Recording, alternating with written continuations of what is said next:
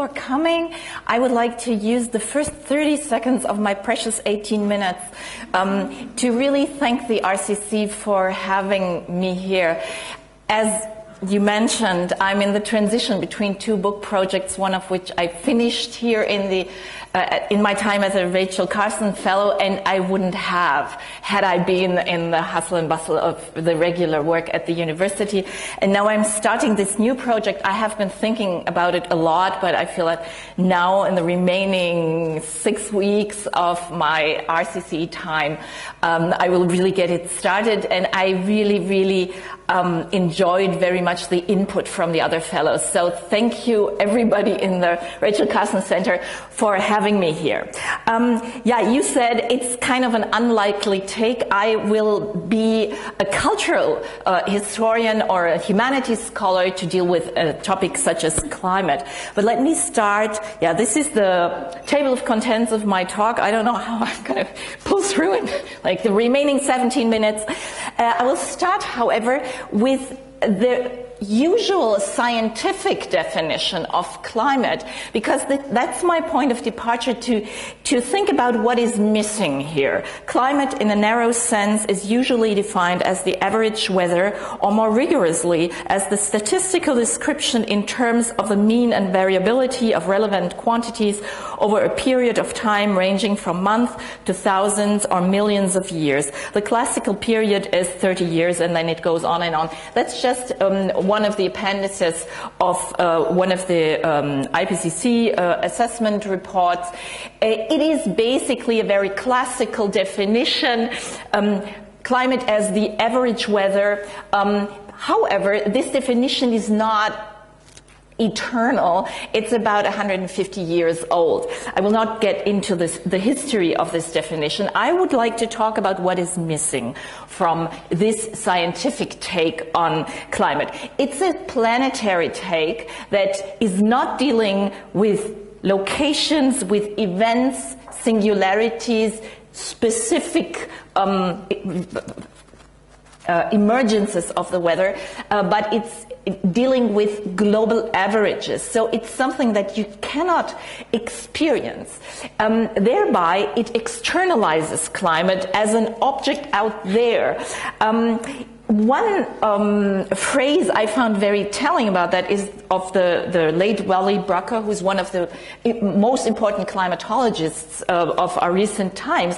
And he said, the climate is an angry beast and we're poking it with sticks, meaning that the climate is something external to us. However, I would say, no, no, we're stuck inside of that beast and we need to understand it from the inside.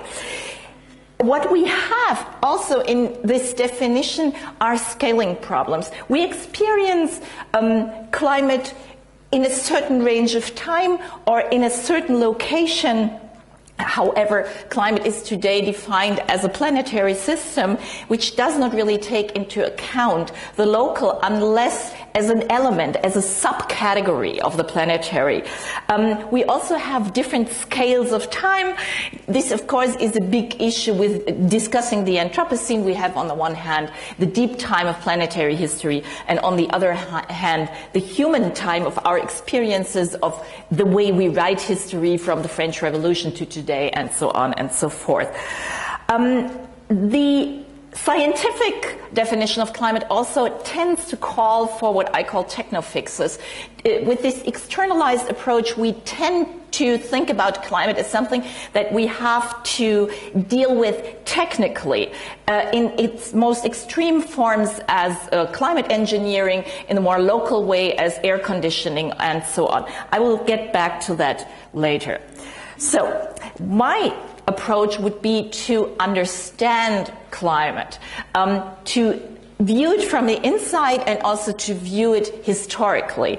Um, Mike Hulme, whom I met, I think four or five years ago at the Rachel Carson Center when there was a conference on climate in Munich, um, has written a wonderful book and he tries to promote this approach, a cultural approach to climate. Making sense of climate and its changes cannot be separated from how weather enwraps itself with landscapes, memory, the body, the imagination, and routine practices in particular places.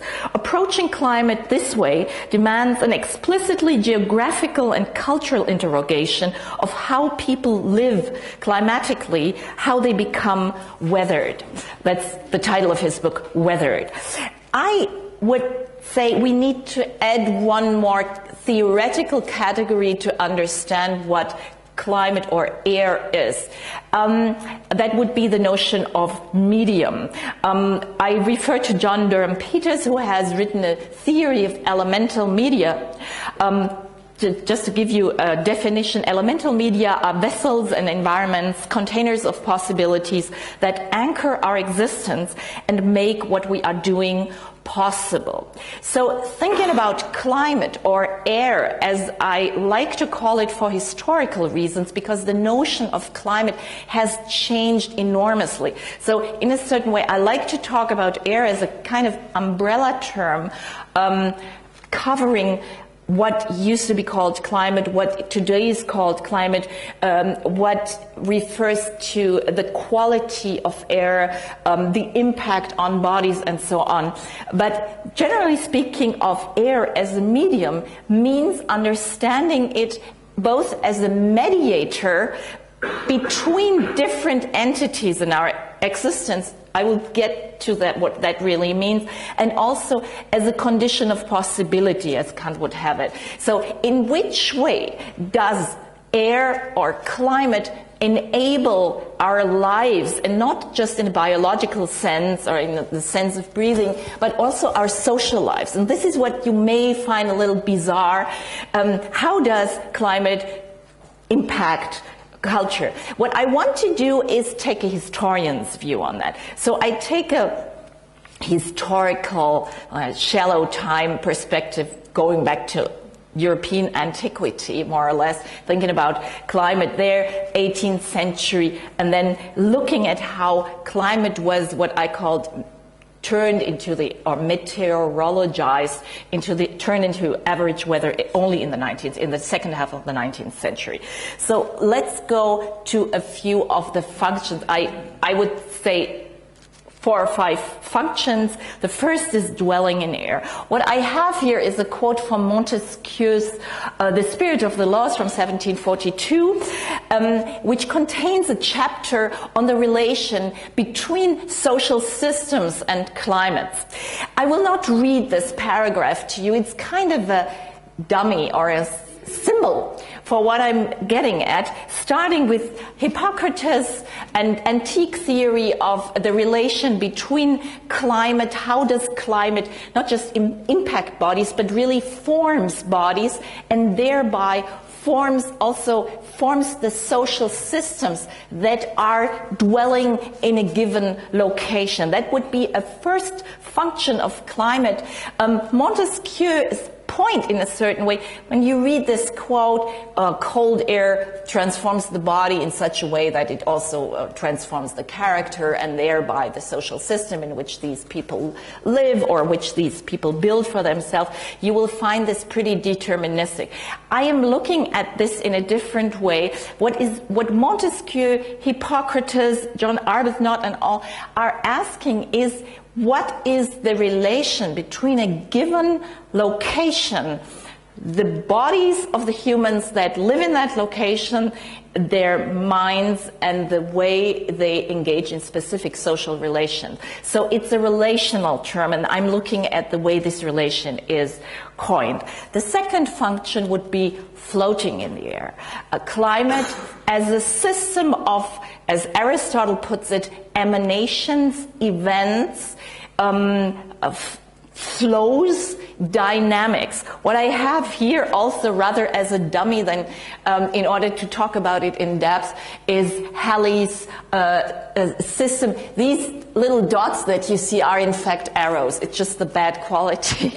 it's the trade winds. It's the discovery of the trade winds as the first step of, in order to look at climate as a system of flows encompassing the entire planet, which also, without the trade winds, I mean, or the discovery of the trade winds is of eminent importance for the development of yeah, a certain specific type of uh, colonialism, uh, the, the, the, colonial exchange as uh, people had it.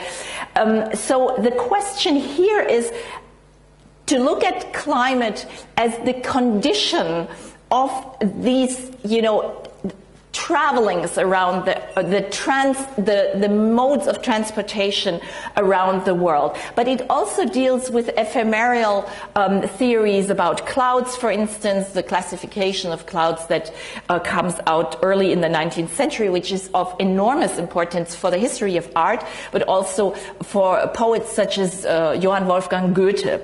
Um, with this uh, approach on air, we also see the, the foundations of what I call the meteorolo- meteorologization. It's not a word that exists in English, not even in German. Um, seeing climate as the all-encompassing system of weather and thereby trying to create averages in order to measure climate. This happens with people like uh, the Austrian meteorologist Julius von Hann who defined for the first time in 1883. So you see how young this is, defined weather as the um, climate as the as average weather. So a third point would be the temporality of climate. Thinking about climate as a, um, pacemaker, a temporal um, device, um, such as in the seasons. Um, let me just give you an example. This is Nicolas Poussin's uh, uh, The Four Seasons. You see four seasons here. The first is the spring. Um, what you see are scenes from the Bible, but also you see cert- the, the, the light is a certain time of the day. Uh, so this is the morning, it's Adam and Eve in the garden. So you see um, the second, you see the summer, um, which is a scene uh, with uh, Ruth and Boaz. Um, it's the summer, it's the time of harvest and plenitude. It's bright daylight. You have the fall. It's kind of an afternoon type of warm yellowish light. You see the, the harvesting of the grapes. And then you see um, the deluge. Um, you say that, deluge? Yeah. No, not really. Deluge. Okay. Um, what I want to show is uh, show you is a take on climate as a cyclic pattern, but it's a cycle that is not just a natural cycle, but it's also cultural and historical. It these the series of these poems encompasses four or five different modes of time, just biblical time, prehistory with a deluge image. You, you would go back to, you know, geological um, transformations, which are starting to be um, researched at the beginning of the, uh, at the end of the, uh, the 17th century, but mostly in the 18th century. So um, climate in this case would be um, uh, in many different forms of temporality would be a way in which humans relate to timescales that are accessible but also inaccessible to them, like the deep time of geological transformation. When you look at one of the earliest books of geology, um, uh, Charles Lyell's Principles of Geology, you see that geology, geological or change is actually climate change, but in very, very long time scales. Uh, so I'm looking at this material too. To give you a first summary, but I'm not done and I hope I have a few minutes left. Okay, good. Um, I would see um, air or climate as a mediator. Um, and that's how it's being addressed in many different ways in the cultural history of the Occident um, as a mediator between bodies and cultures and their natural environments. And you can tell, for, for, instance, why Montesquieu is so interesting because he tries to come up with a theory of laws, of Laws are a thing of human making, but tries to found this in nat- the natural, you know, environmental um, uh, givens that a culture is situated in.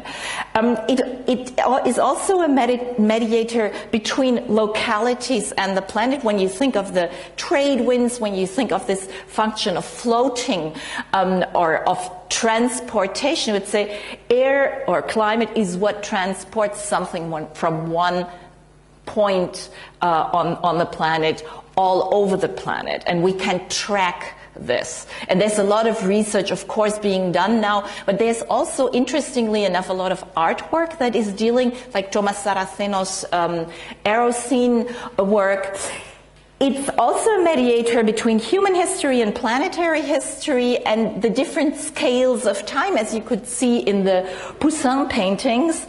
And of course, and very specifically, when you think of this term Anthropocene and talking about humans as a geological force, of course, between the individual practices of every single uh, living uh, being or, or specific lifestyles and something that we would call global change or planetary change. So let me give you, this is a very contemporary take on climate. It's, a, it's from a handbook on Earth system sciences.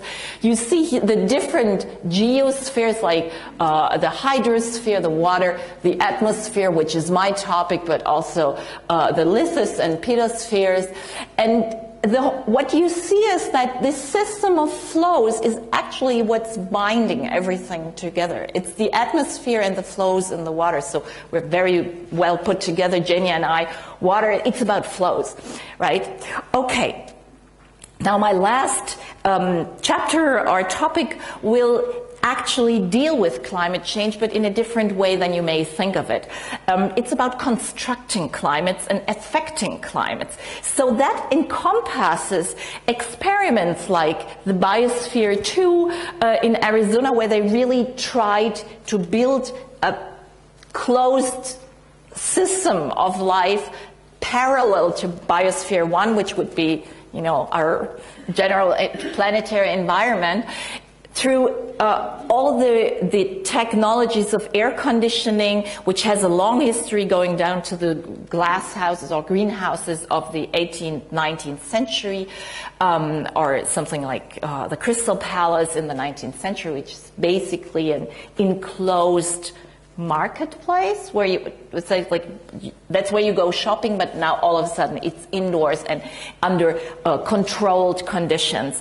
Um, up to planetary climate engineering. That would be um, the last chapter. So I think writing such a cultural history of climate really um, has to, in a certain way, take a step back from this immediate urgency of climate change that you mentioned in your presentation of my work, a step back and then eventually return to climate change in order to understand it differently. Understanding air as a medium means also understanding the, the alterations of the air in local confined conditions as well as on a planetary scale um, in a different way and as I would point, say, from the inside, uh, as being involved in it, um, uh, but also being deeply affected in it and not just by, you know, changing weather patterns or something. So, um, what climate change means, if you understand air as a medium, means a disruption um, that is making the medium perceptible in a certain way. That might be a Heideggerian idea of disrupting a medium in order to understand it, in order to make it more explicit. Um, but I think that's how we should understand climate change in a certain way. The Anthropocene or climate change as a huge planetary experiment that, but we're stuck in it, not in a, in a classical modern sense where we do it in the lab and the, the experiment is happening and we can take a step aside.